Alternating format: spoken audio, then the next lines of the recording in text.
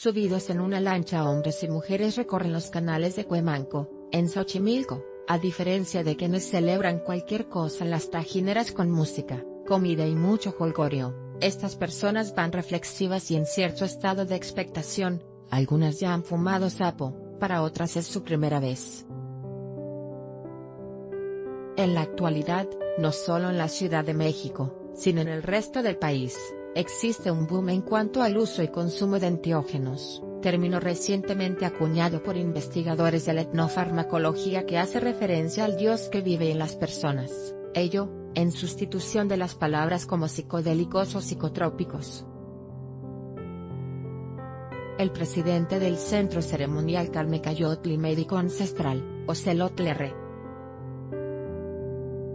Galindo, explicó en entrevista que la medicina del sapo se extrae de la especie del sapo bufo alvarius, que vive principalmente en el desierto de Sonora. Este animal, expuso, vive largos periodos de tiempo bajo la tierra, y solo sale dos veces al año a alimentarse y a reproducirse, periodo en el cual con sumo cuidado y, sin lastimarlo, se le extrae una sustancia de sus glándulas, la cual se deja secar al sol para formar una especie de hojuelas doradas que contienen la sustancia, denominada bufotenina.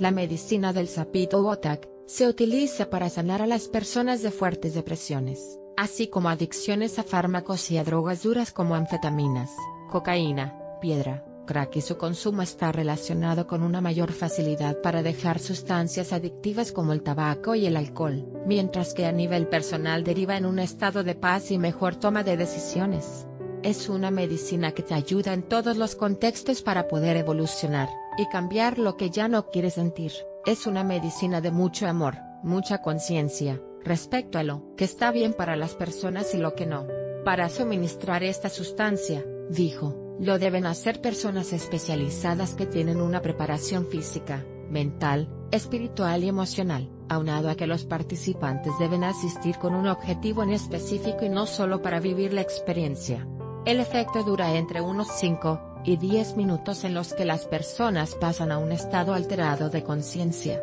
Así, primero se invita a los participantes a expresar la intención de consumir esta sustancia para que el guía lo acompañe con rezos y cantos ancestrales relacionados. La sustancia es colocada en una pipeta de vidrio, y se somete al calor de un soplete, una vez que se hace una especie de vapor, el participante lo jala a sus pulmones. Luego, llega todo el cuerpo mediante el torrente sanguíneo hasta llegar al cerebro, que la reconoce como si fuera serotonina debido a que su composición es muy parecida.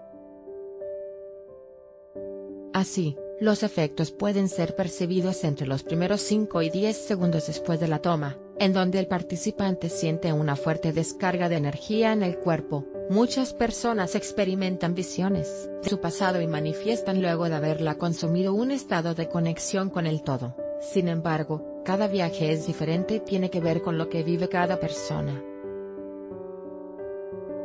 De lo que se trata, explicó Galindo, es de que esta medicina elimina el ego que se manifiesta en forma de pensamientos negativos o limitantes para dar paso al ser, es decir, a la esencia de las personas para descubrir la luz y encontrar a su maestro interno. Esta sustancia puede ser utilizada solo de día, y sus efectos duran entre 5 a 10 minutos.